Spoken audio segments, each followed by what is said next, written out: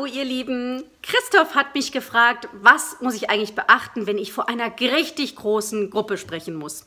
Er hat bis jetzt immer Vorträge gehalten vor kleinen Gruppen, das waren so 20, 30 Leute. Diesmal werden es über 500 Menschen sein, die ihm zuhören und er hat gefragt, was wird eigentlich anders sein und auf was muss ich achten.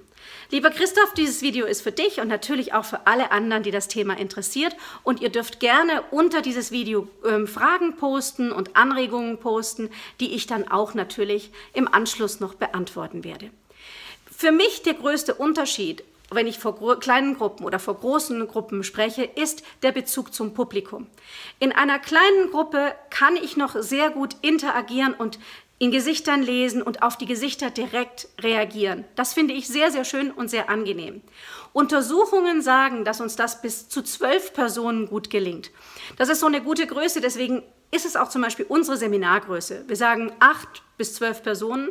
Bei acht Personen gelingt es mir noch super, richtig jeden Einzelnen intensiv zu betreuen, bei zwölf auch noch okay und danach wird es schwierig. Und wenn die Gruppe sehr, sehr groß ist, dann wird das schwieriger und schwieriger und schwieriger. Und bei einem ganz riesigen Publikum ist das nicht mehr möglich. Dann kommt es auch noch sehr auf die Lichtverhältnisse an. Es kann sein, ich sehe das Publikum, obwohl es riesig ist. Dann hilft es, sich nette Leute auszupicken, die man kennt.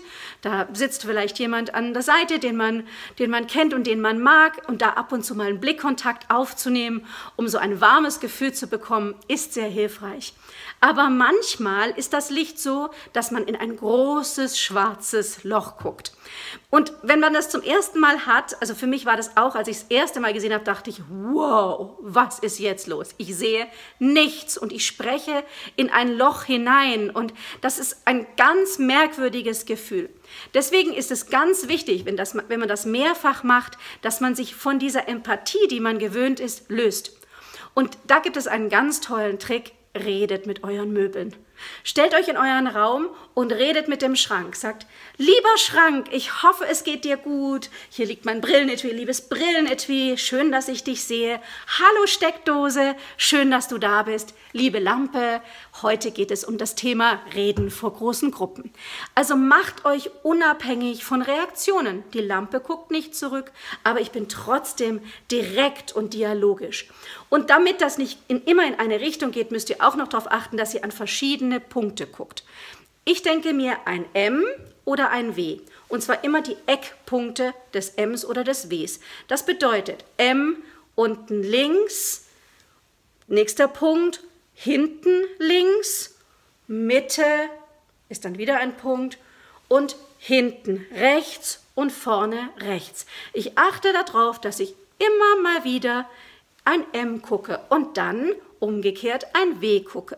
Das ist sehr hilfreich, um sich nicht zu sehr auf eine bestimmte Reihe und eine bestimmte Richtung zu konzentrieren. Das hilft dabei sehr. Das nächste ist, bei so großen Gruppen werdet ihr definitiv ein Mikrofon haben. Und ein Mikrofon macht einen großen Unterschied.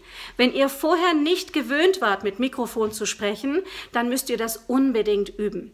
Denn den Fehler, den die meisten Menschen machen, ist, dass sie zu laut sprechen. Zu viel Druck in der Stimme haben und dann fühlt man sich angeschrien.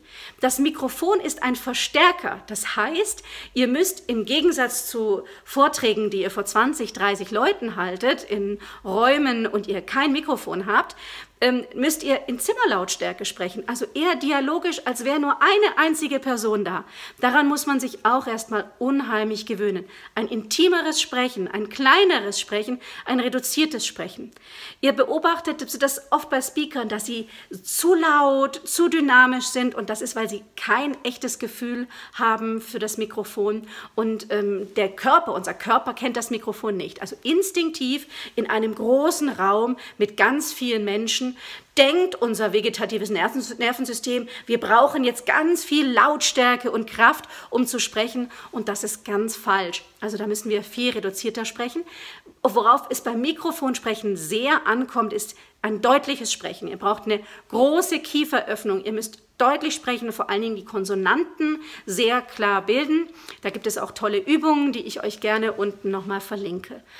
Und ähm, des Weiteren ist es wichtig, dass ihr auf eure Kieferöffnung achtet, also dass ihr gut den Mund weit aufmacht, denn auch das fördert nochmal die Lautbildung. Wenn ihr keinen Kontakt zum Publikum habt, müsst ihr euch irgendwie etwas Fiktives vorstellen. Also wenn ihr mit dem Schrank geübt habt, habt ihr das dialogische, äh, äh, das dialogische Sprechen geübt und das Publikum stellt euch das dabei immer mit vor. Also ihr sprecht zwar den Schrank direkt an und die Lampe direkt an, aber ihr sprecht trotzdem gedanklich immer zum großen Publikum. Die mentale Vorbereitung hilft sehr. Wenn ihr die Chance habt, den Raum euch vorher anzugucken, dann guckt euch den Raum vorher an und probiert die Technik aus. Denn es gibt auch nochmal ein gutes Gefühl, wenn man einfach sicher weiß, so und so geht das und da ist jemand, der kümmert sich drum und ich weiß, der kommt heute Abend auch wieder, wenn ich den Vortrag halte. Das gibt eine große Sicherheit. Ich finde es trotzdem wichtig, selbst wenn man den Raum sich nicht vorstellen kann, weil man ihn nicht kennt, passiert mir ja auch manchmal. Ich halte einen Vortrag in der Stadt, da weiß ich, weiß ich nicht, wie das ist. Ich war zum Beispiel in Osnabrück, da wusste ich überhaupt nicht, was mich erwartet. Also ich wusste nicht, wie sind da, passen da 500 Leute rein oder sind es fünf? Ich hatte keine Ahnung. Ich sprach dann auch in ein großes schwarzes Loch und kannte den Raum eben überhaupt nicht.